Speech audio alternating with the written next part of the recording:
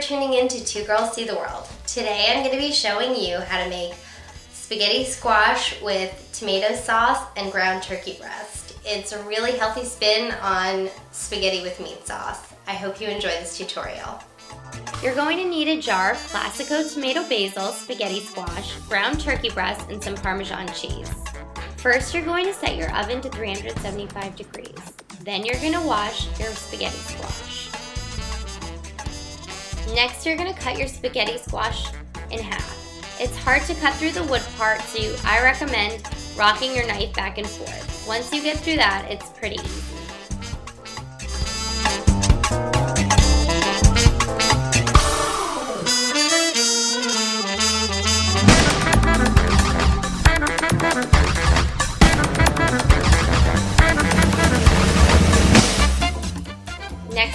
Gonna wanna clean out the insides of your spaghetti squash. Just take a fork and clean out the seeds.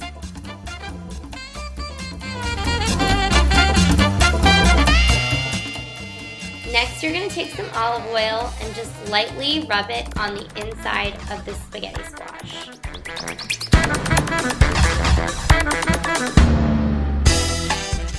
Then you're gonna place your spaghetti squash face down on a baking sheet and put it inside of your oven.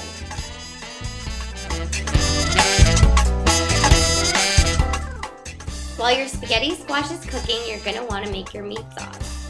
Spray your pan with some Pam, and then you're gonna wanna take your ground turkey breast and put it into your saucepan.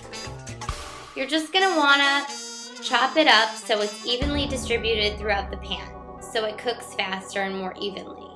Then I recommend spicing it a little. You can do whatever you like. I put some onion powder and some garlic powder on mine.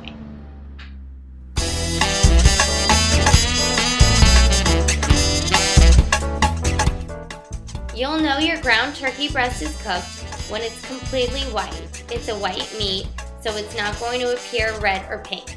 If it's pink or red, it's still not finished cooking.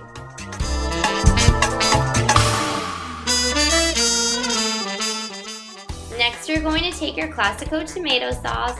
I recommend opening it with a rubber glove. It just makes it easier to open. And then you're gonna wanna combine it with your meat and cook it over a low heat on your saucepan. Then take out your spaghetti squash and put it on a cooling rack. Next, when it's cool enough to take out, you can just shred it easily with a fork. You can see it, it comes out really very easily into your bowl. Then you're going to want to combine your sauce and your meat on top of your spaghetti squash. I just like to rub it out like a casserole. Then I just take some Parmesan cheese and spread it on top. Now it's ready for you to enjoy. I hope you enjoyed this video. We'll be doing a lot more cooking videos, so definitely check out this channel. Um, and please subscribe to see what's to come. Also, check out our other channel, M&K Beauty. Have a great night, guys. Bye.